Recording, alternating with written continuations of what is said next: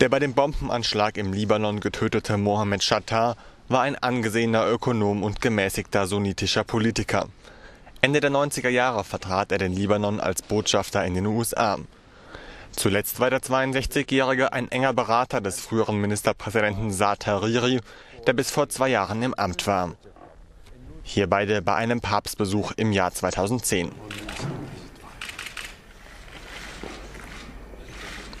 Als Berater diente Mohammed Chattar bereits auch unter den Ministerpräsidenten Fuad Signora und Rafik Hariri.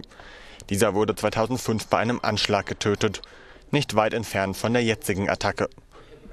Noch eine Stunde vor seinem Tod hatte Chattar eine Kurznachricht über Twitter verschickt. Darin kritisierte er die schiitische Hisbollah-Bewegung.